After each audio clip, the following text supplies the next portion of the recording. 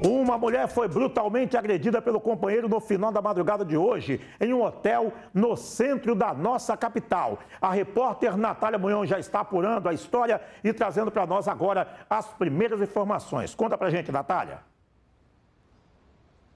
Dudu, acabamos de sair aqui do hotel, no qual a gente conversou com alguns funcionários. O plantão já trocou, então quem estava aqui na hora do fato já não está mais, já saiu para descansar. Só que os boatos correram ali, o pessoal explicou mais ou menos para a gente e conseguimos informações oficiais também com a Polícia Militar. O que, que, teria acontecido?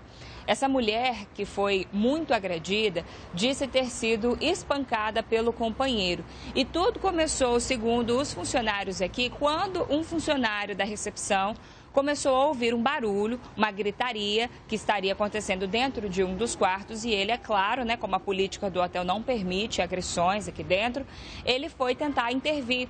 Bateu na porta do quarto, perguntou o que estava acontecendo, se tinha alguém precisando de ajuda.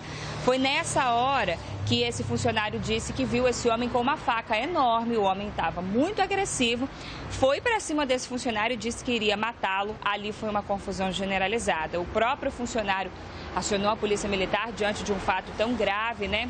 E ali a polícia veio até o local. Nesse caminho, a moça, que seria a esposa desse cara, saiu do quarto junto com o filho do casal. Eles têm um filhinho de um filho de três aninhos.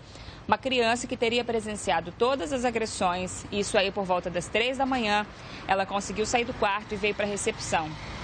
A cena que os funcionários viram quando essa mulher veio para a recepção Dudu e pessoal que está aí acompanhando o Espírito Santo no ar disseram que o rosto dela estava destruído, ela estava desfigurada. De tanto que havia apanhado, estava sangrando muito, bastante ferida. E nesse tempo que ela foi para a recepção para pedir socorro, a polícia já estava vindo para o local. O homem se escondeu em um depósito que tem aqui no hotel. Quando os policiais chegaram, deu um pouquinho de trabalho, porque esse depósito é escuro. Eles procuraram por esse homem por algum tempo, até que ele mesmo se entregou ele confessou que tinha sim batido na esposa, se entregou aos policiais, saiu daqui algemado e foi levado para a delegacia. Já ela e o filho, né, ela principalmente, ela foi levada ao hospital para receber atendimento médico, precisou levar ponto na boca, precisou de um atendimento ali de tomografia, exames mais específicos, porque ela realmente estava muito machucada. E lá no hospital, ela resolveu abrir o jogo para os policiais. Ela contou que aquele é o marido dela. Eles são de Cachoeiro de Itapemirim. Estavam hospedados aqui nesse hotel do centro de Vitória há cerca de cinco dias, juntamente com o filho. E ontem eles estariam durante a noite usando crack, ambos, né, marido e mulher. E teve uma hora que essa droga teria acabado e ele mandou que ela viesse na rua para conseguir pegar mais crack para os dois usarem e ela se recusou. Diante dessa recusa, ele teria sido muito agressivo e bateu nela com muita covardia. E aí ela acabou ficando muito machucada. Foi a hora que o funcionário ouviu, interviu e tudo isso aconteceu.